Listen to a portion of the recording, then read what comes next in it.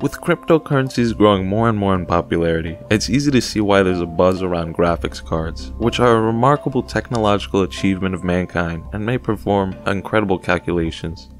Graphics cards are in many computers, but top of the line cards are designed for graphic designers, gamers, and multimedia enthusiasts. A video game's graphics require an unthinkable amount of calculations for processing like depth, trajectory, vertex coordinates, and face coordinates, something only a graphics card can handle. It's for this exact reason graphics cards are used for cryptocurrency mining, which requires an enormous number of calculations to track and verify transactions on blockchain technology. The workings of graphics cards rely on translating binary code from the computer's central processing unit, or CPU, to color in on-screen pixels.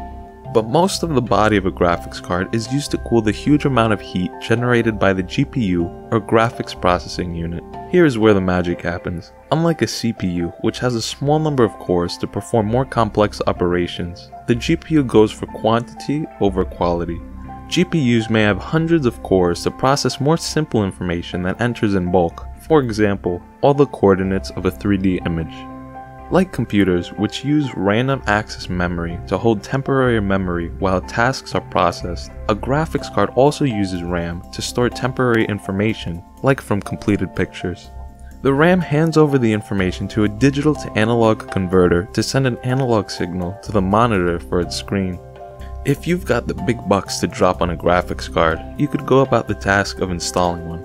It's as simple as locating the Peripheral Component Interconnect, or PCI Express slot on the computer's motherboard, plugging in the graphics card, plugging in the monitor cables, and installing the latest driver software.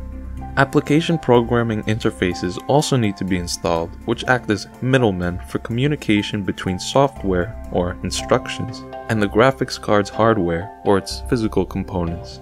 Just make sure the motherboard is up to the task for all that energy consumption though, and the CPU is advanced enough to match your graphics card. An out-of-date CPU coupled with an advanced graphics card wouldn't be great because performance is limited to what either may be able to handle.